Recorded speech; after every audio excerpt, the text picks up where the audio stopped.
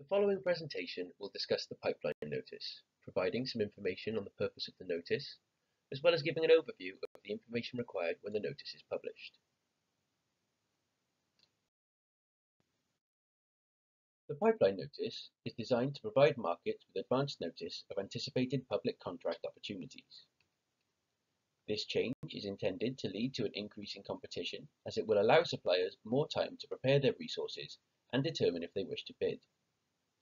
This will especially benefit small and medium-sized enterprises and voluntary, community and social enterprises who have less resource to respond to public sector tenders by providing them with time to plan for future work, ensuring a competitive and vibrant market.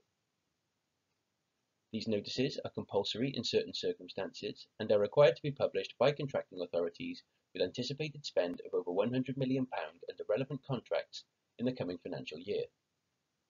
For organisations who are required to publish them, a pipeline notice must be published for all public contracts which the contracting authority anticipates will have an estimated value of over £2 million. Below threshold contracts can be advertised in a pipeline notice, but it is not compulsory, though it is encouraged for works contracts valued at over £2 million. The notice must also cover public contracts which the contracting authority proposes to enter into for the forthcoming 18 months. Pipeline notice should be published within 56 days of the first day of the financial year. While the pipeline notice is intended to provide suppliers with an indication of contracting authorities' plans, it is important to note that the contracting authorities are not held to the information in the notice, which could change over time. The notice is intended to be updated as the contracting authorities' intentions evolve in response to events and emerging organisational requirements.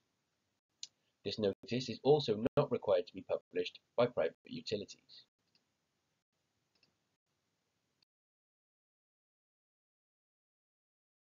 The following information must be included when publishing a pipeline notice, though please note that authorities should refer directly to the regulations and associated guidance, as this information is only being provided as a general guide to the notice requirements.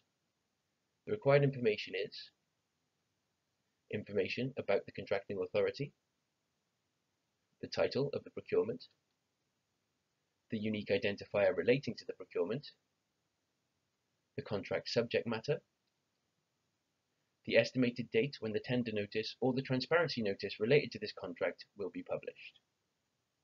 A full list of the information required to be included in this notice is included in the published regulations and further information is provided in the associated guidance.